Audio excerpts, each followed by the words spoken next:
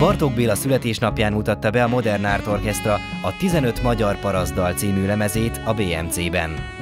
A lemez négy kitűnő hangszerelő muzsikus, Bacsó Kristóf, Ávéd János, Fekete Kovács Kornél és Subic Gábor munkája, akik mindvégig gondosan ügyeltek a dalok eredeti formájának és szólamainak megőrzésére. A Modern Art Orchestra egyszerre nyújt elmélyült szórakoztatást, elméletet, gyakorlatot és példaértékű zenei megnyilvánulásokat koncerten és lemezen is.